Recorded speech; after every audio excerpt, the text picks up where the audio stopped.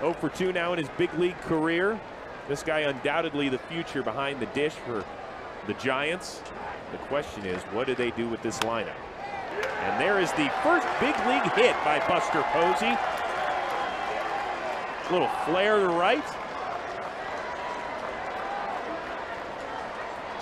That's a big moment for this young man.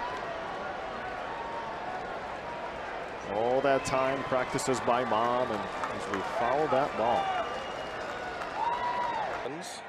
Here is Buster Posey now, and he swings at the first pitch. That is driven to right field. Betts turns and runs. He looks up, and it is off the brick wall. Takes a huge bounce. Posey will stop at second base. It's an ambush double for Buster Posey, and the Giants.